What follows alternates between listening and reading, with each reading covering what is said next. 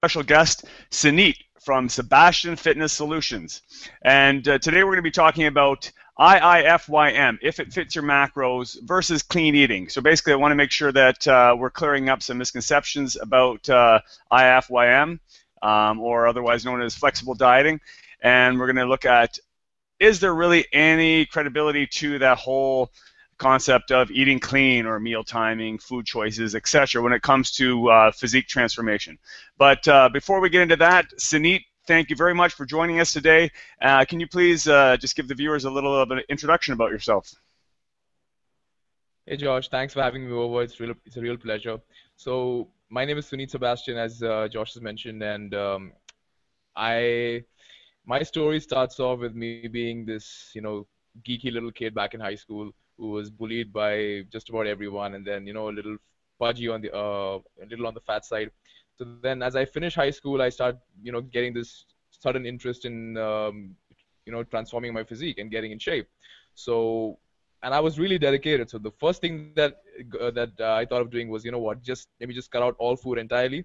Let me stop eating, and I just end up eating just salads and soup for the entire day, and playing like three hours of basketball almost every day. Oh no! And the end result is I went from like 75 kgs of uh, blubber down to less than 60 kilograms, and I looked like an anorexic little girl. Mm-hmm. and the funny thing is that uh, you know I could see a set of six pack in, in the mirror and a, this little lemon-sized bicep, and I was like very impressed by that and thought that I was in great shape. Little did I, it, it took me a little time to realize that I, I uh, in the end, I was just like a skinny little twig. So mm-hmm. finally, I end up uh, in the gym, uh, like just about everybody else, looking to build some muscle, uh, you know, get some size on those uh, scrawny little arms.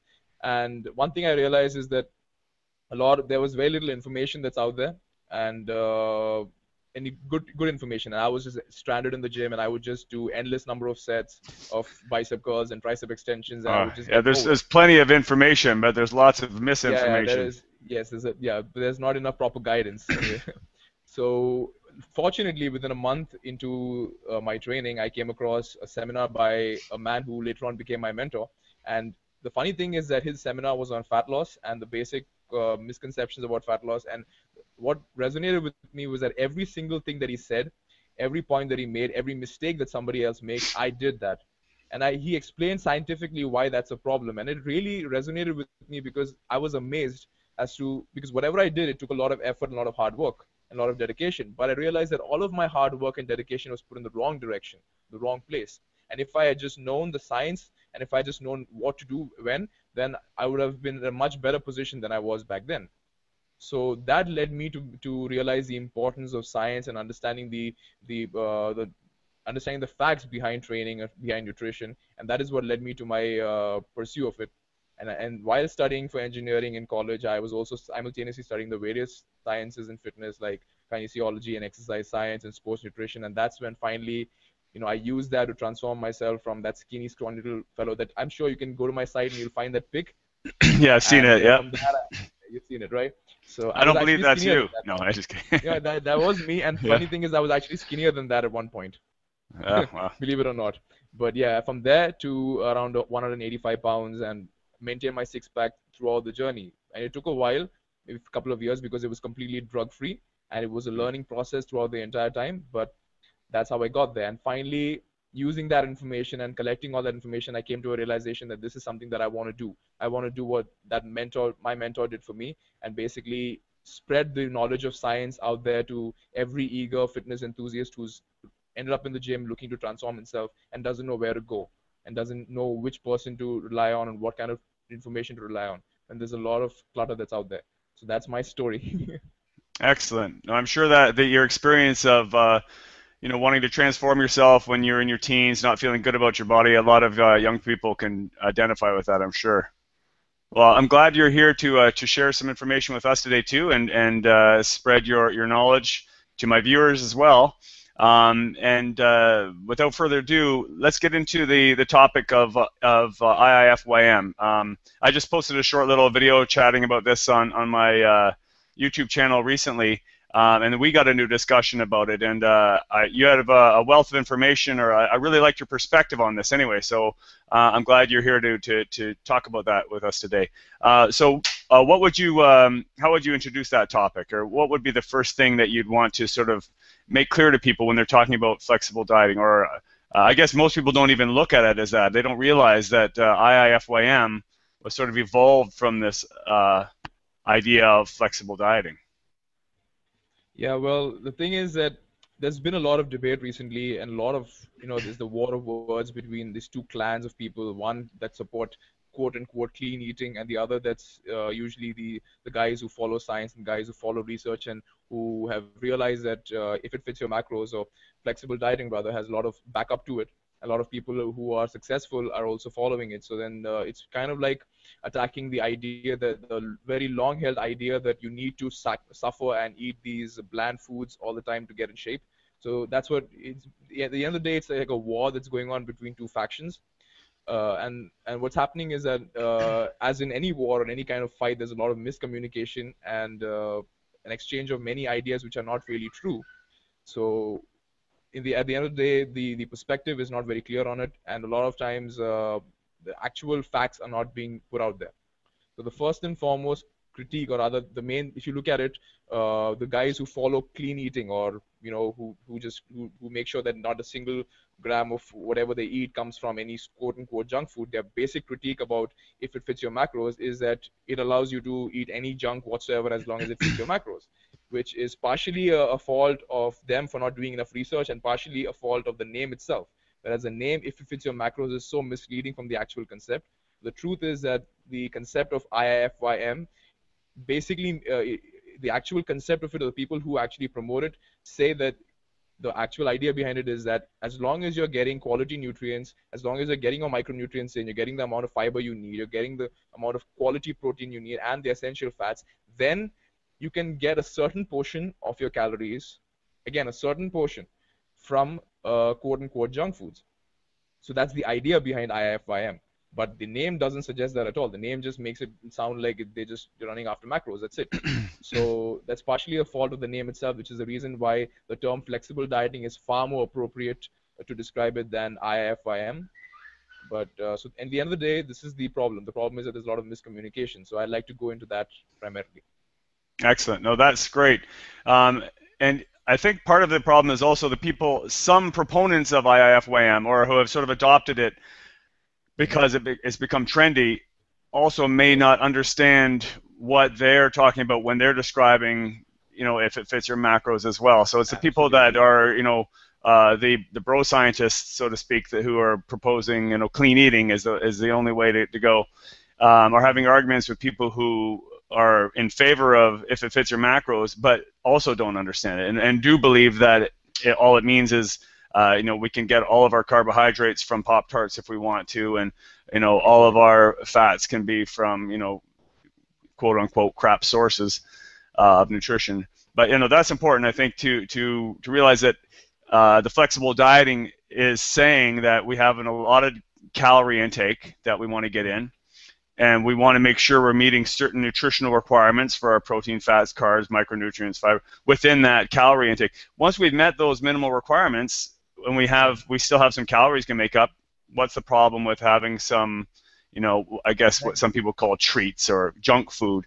They're saying it's not it's not junk if we've met our nutritional requirements. Enjoy some of that stuff along the way. And, and and if you look at it clearly, if you look at it prop, uh, from from a uh, from certain perspective, you'll see that IIFYM of flexible dieting is probably 80% or 85%, maybe even 90% clean eating itself, and then a little bit five five percent or 10% extra, maybe a little bit more. But if you look, if you are going to actually follow the premise of uh, flexible dieting, you will end up having 85% of your diet as clean eat, quote unquote clean eating there itself. The problem is that when people find the concept that they can latch onto, uh, a lot of people, you know, there are certain people who defend certain diets a lot because it works for them or, or they have seen exceptional results or any kind of concept that really uh, sticks with what they want. You know, sometimes you have these uh, certain beliefs of your own and certain outcomes that you want yourself.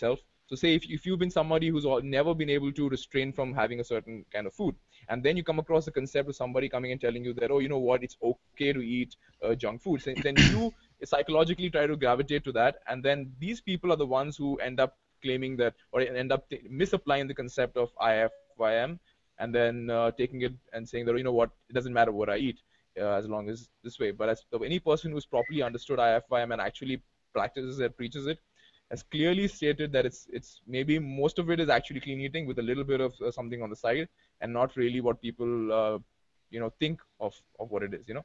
Mm-hmm. But uh, the the junk food portions make better Instagram and Facebook pictures. So that's what everyone sees. You know, they're they're post post pictures of uh, you know bacon and pop tarts and uh, you know chocolate bars with you know hashtag IIFYM. So it's it's been associated as a junk food diet when that's a complete misrepresentation.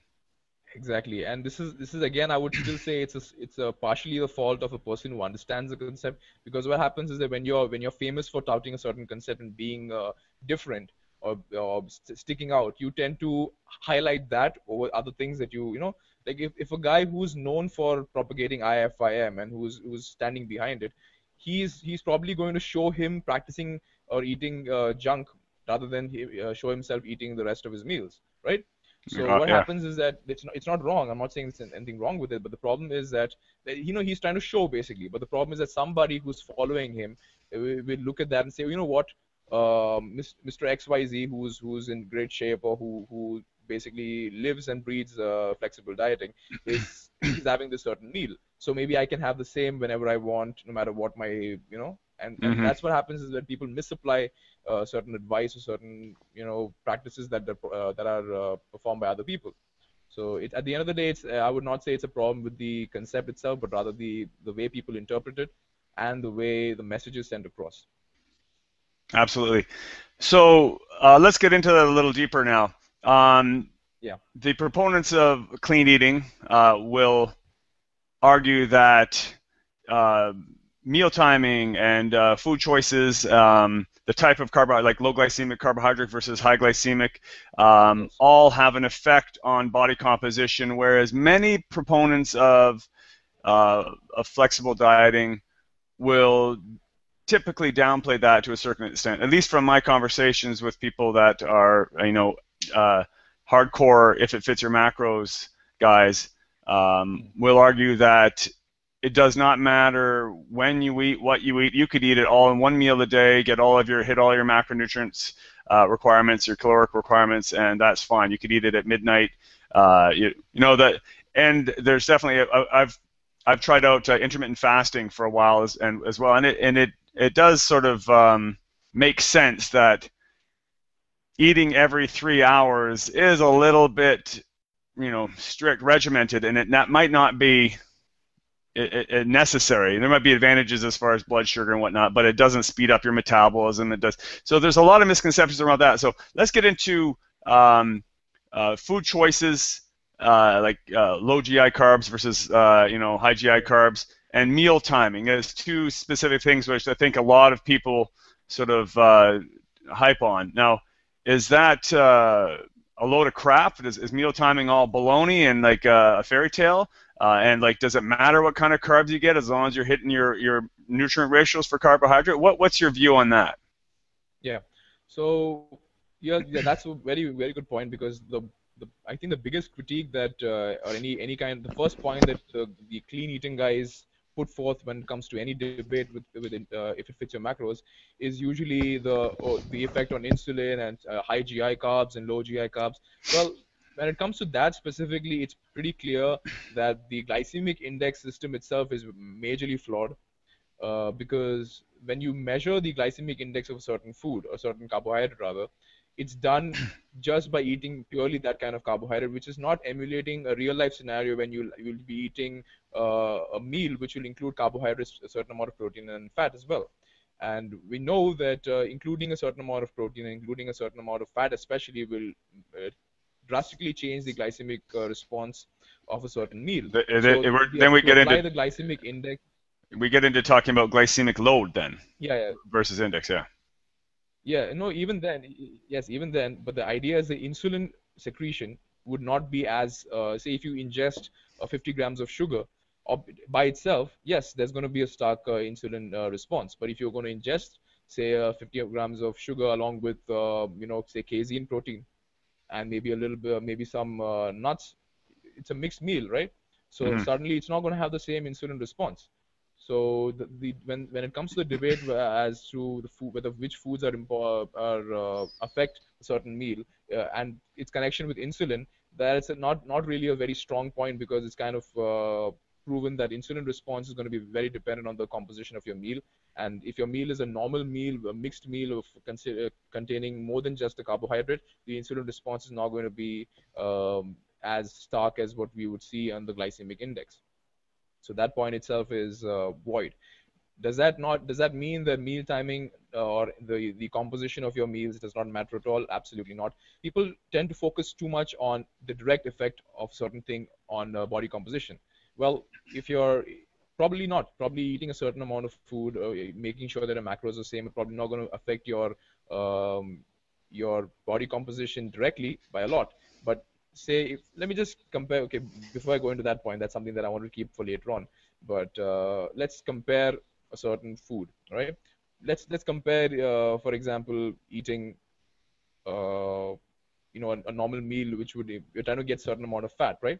So we, we try to, in one meal, in a clean meal, we try to get a certain quantity of fat from, uh, say, nuts. On the other hand, we're eating uh, a cheat meal where you are getting the probably the the fat in there is going to be a considerable amount of saturated fat or trans fatty acids if you're eating something that's highly processed. So over there, if you're getting the same amount of uh, fat, dietary fat from uh, say 20 grams or 25 grams of dietary fat in one meal, in, in a clean meal from nuts and uh, good fat sources as opposed to saturated and trans fatty acids, then uh, it's, it's pretty clear that it's not going to be the same. And maybe carbohydrates not so much, but protein and fat, the quality of the nutrient does matter quite a lot. So to say that me- meal composition doesn't matter at all, I wouldn't say that's entirely true. And it would be a very, uh, I think it would be a very simplistic or a very minimalistic look at uh, you know, maybe you're just observing your immediate effect on body composition rather than the overall impact on the body itself. Right, and uh, we, we got a little bit into effect on insulin of, uh, of carbohydrate intake on insulin. Uh, what's your take on the argument of hormonal effect of foods? I mean, it's, I, in in my point of view, I mean there is definitely the, the food choices, the type of food you eat, as far as the ratios of fats to carbs does have an effect on different hormones. Uh, in which cases does that significant enough to impact your progress? In which you know, uh, in which cases is, is it sort of overplay, uh, you know, uh, exaggerated a little bit? What, what's your opinion on that? Well, I'll, I'll make a very uh, honest statement saying that I, my knowledge in endocrinology isn't really that strong where I can make a statement as uh, unequivocally and as confidently as I do with training. But I will say that I will probably give you guys, uh, anybody who's watching, just try and observe or try to think of a time when you're eating a meal uh, or, you know, that, that has a lot of, say, processed carbohydrates or you're having, say, if you're trying to get, this is a perfect example actually. Say you are uh, trying to eat a post-work pre-workout meal, right, before you're going to go into the gym, and you want to get maybe say around 60 grams of carbohydrates in.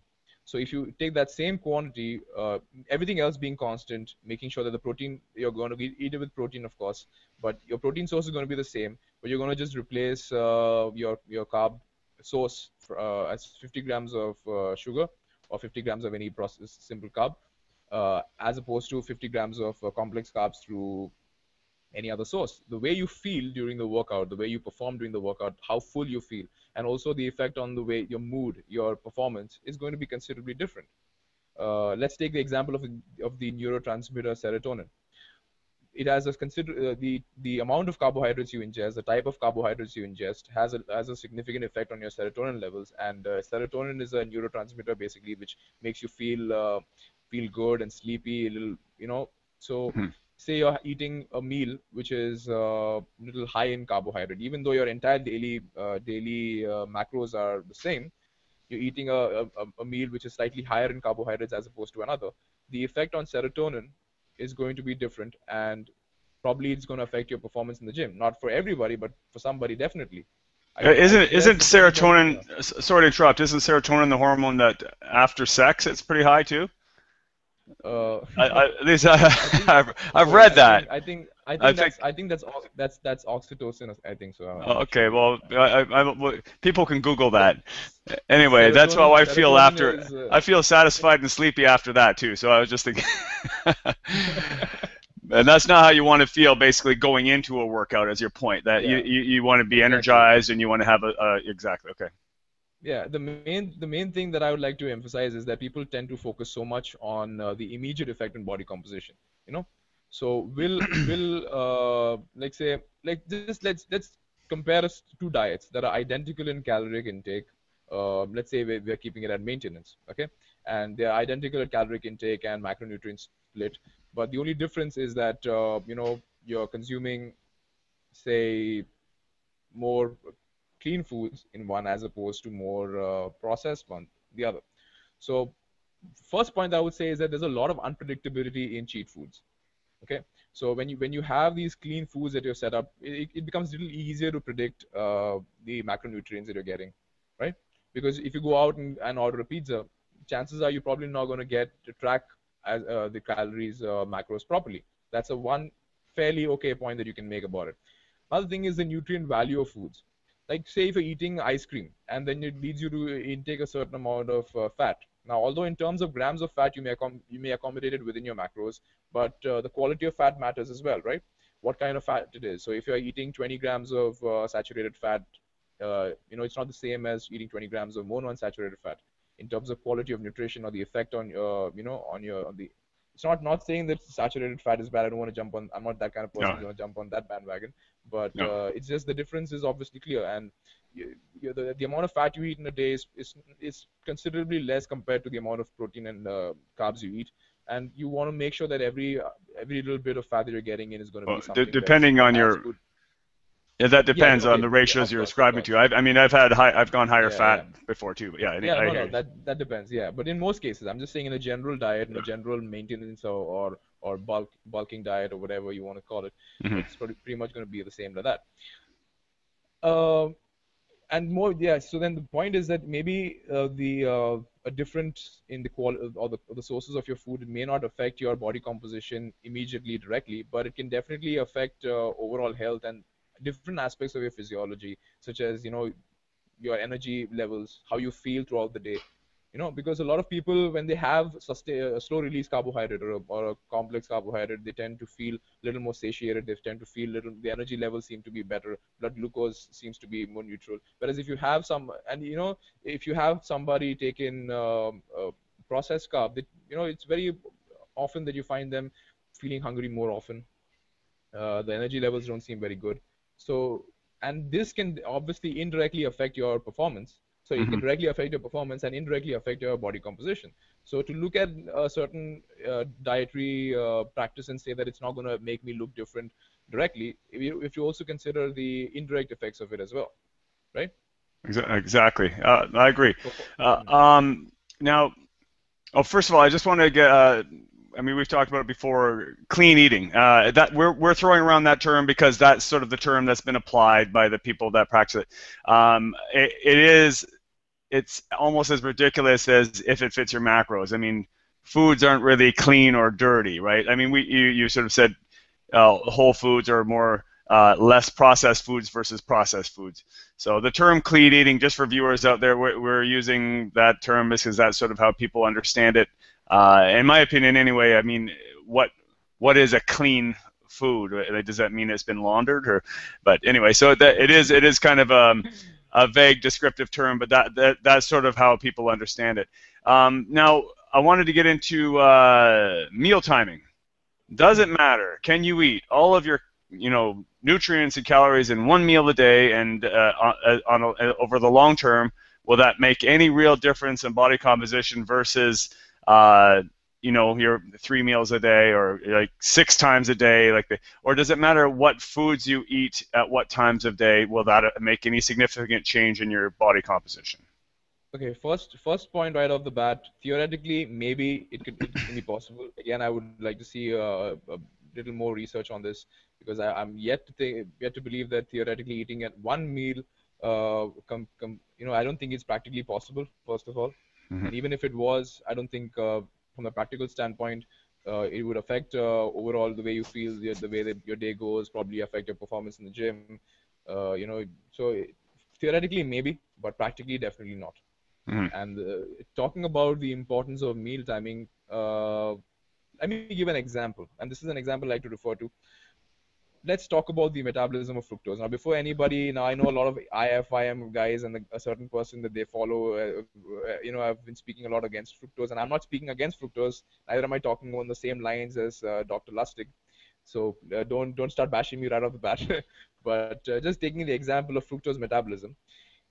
Usually, when you ingest certain carbohydrate in, uh, the body stores it first in liver glycogen, certain amount of glucose that floats in the bloodstream is utilized for immediate activity, of course. But then the remaining first the storing process starts with storing in the liver glycogen, followed by which it goes in the muscle glycogen, which is a considerably larger storage space.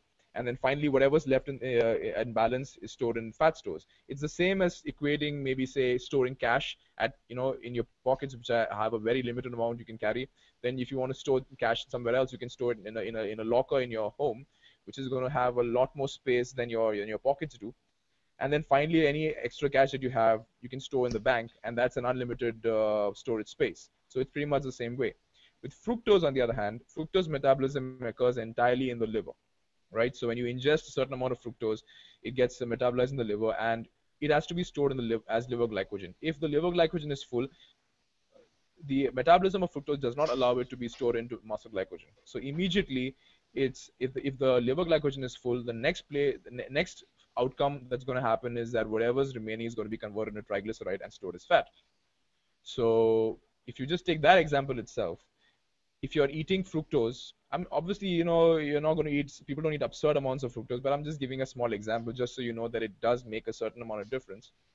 That if you ingest fructose at a time when your liver glycogen is full, say maybe after you've eaten a meal or two or somewhere down within the day, then the balance, whatever's left, is going to be converted into fat. Whereas if you eat fructose at a time when your liver glycogen is probable to be not full, for example, after a long fast or maybe just after getting up from sleep, you know, for breakfast, then chances are that whatever fructose is there in that particular meal or whatever you're eating has uh, will go into liver glycogen and has less probability. Again, it's about probability, but it has a less chance of going into fat stores. So that itself shows an example of how uh, eating a you know meal timing can make a difference it may not be extremely uh, uh, significant. It's not going to like if you're going to eat a, a, fruit during more, uh, you know, some other time you're going to get fat.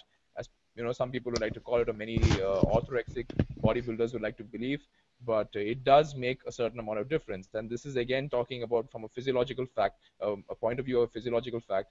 Uh, this is not even accounting for you know how a particular food may make you feel, how it affects your performance, how it affects your mood, how it affects your appetite which all tie into various aspects of performance and the various aspects of the way you go about your day, which can indirectly, of course, affect your pro- uh, progression and uh, end outcome as uh, in your physique. So, I think definitely meal meal timing and composition does matter a bit, but I'd say it's more to do with uh, practical aspects and uh, individual uh, differences more so than as as far as as far as what the evidence suggests till now that more so than physiological general statements that we can make across people. Excellent. So if you if you were to summarize then, uh, uh, in conclusion for this argument, if comparing if it fits your macros versus the the clean eating uh, group, um, what sort of advice would you give, or, or how would you um, sort of conclude that argument uh, sort of in favor of one versus the other, or is there some middle ground, or if people are looking at like what what are the most important elements of each? Um, like okay. for me, like in my videos, I, I would argue, and I think you'd agree that if you have a physique goal, a body composition goal, tracking your calories and your your macronutrients, it is important. Like knowing, yeah, exactly. So I mean, the people that say uh, it doesn't matter what calories you get as long as it's from clean sources. That's pretty. Uh, it's pretty easy to prove that wrong. You, it, if I mean, it, you can't eat as much as you want uh, as long as it's clean, and somehow calories don't matter. They matter. Uh, so that's absolutely false. Yes. Yeah. So so uh, so uh, so obviously. Uh, the flexible dieters got that right. You, you, just like you track any training goals, uh, in your progress, you track your food. Um, but so wh- where where is this middle ground, or uh, what what can people take away from this when they're looking at when they're you know comparing if it fits your macros versus clean eating, uh, or is there a, is there a middle ground there?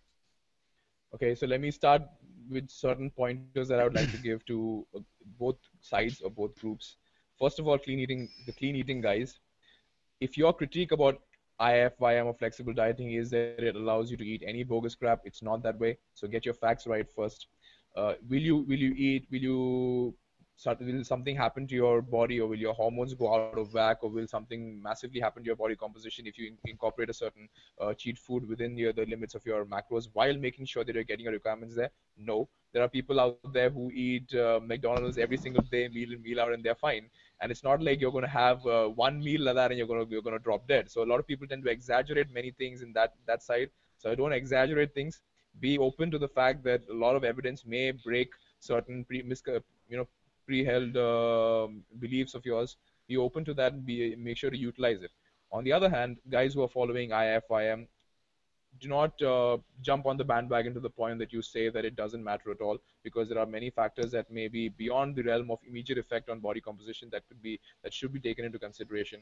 Uh, I would say that if you do, I think it's great to incorporate whatever you're doing, and uh, I would I incorporate it as well. But the thing is that you need to take into account maybe we need a little bit more research into the physiological effect of it, and maybe especially in in, in uh, around times when you want to when you're focusing on performance. Say a pre-workout meal, you probably don't want to have pop tarts over there because it may probably not make you feel too good.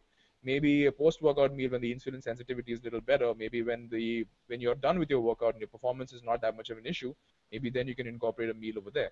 So I think there's a certain middle ground that needs to be found. I also think that a lot of research needs to be done on specific impact of uh, of food on various hormones. I would really like to go into study with endocrinology, and I will be doing it as soon as I get some time. And when I do, I'll probably have a better idea and better understanding of uh, the impact of individual, the impact of uh, foods on individual hormones. But until then, this is my advice to both groups. Excellent advice. If people want to find out more about you or uh, or learn a little bit more about your uh, other content you have to offer, where can they connect with you online? Sure. They, uh, for anybody who wants to connect with my work, just go onto my website www.sebastianfitnesssolutions.com, and that's my blog, and I post a lot of articles over there, so you can check me out there. And I have my YouTube channel, so you can just search the same name, Sebastian Fitness Solutions, or go ahead and find the username Sebastian Fitness SLNS, and you'll find me there as well. And finally, on Facebook, the same thing, facebook.com slash Sebastian Fitness Solutions. So just go ahead and just type in a, just search a, search those terms for me, and you'll all you'll find everything, all my content right over there on the web. Excellent. Uh, I'll post all of the links down below as well in the description section here. Definitely go check this guy out. Uh, Suneet has a wealth of information and content on all those sites. Um, your blog site is excellent, by the way. Great articles there. So like him on Facebook uh, and definitely subscribe to his YouTube channel. And uh, Suneet, thanks again for joining us today. Thanks for having me, Josh. Thanks. I look forward to connecting again soon. All right. Have a good night. Absolutely. Good night.